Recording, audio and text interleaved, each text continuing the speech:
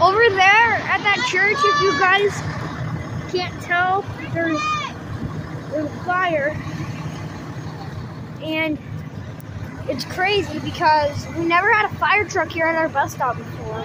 And this is crazy. Imagine the whole park was on fire.